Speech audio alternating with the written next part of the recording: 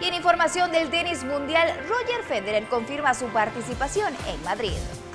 El suizo ha confirmado su participación en el Mutua Madrid Open, torneo categoría Master 1000, que a partir de este domingo se disputa en la Caja Mágica.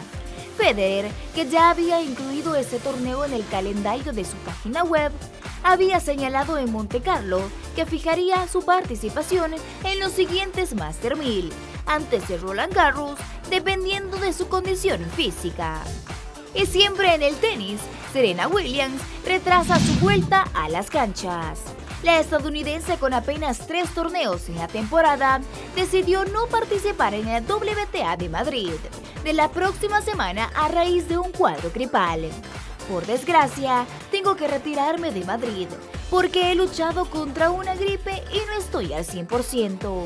Estoy deseando volver pronto, explicó la número uno del mundo, semifinalista en 2015, según declaraciones reproducidas por la WTA.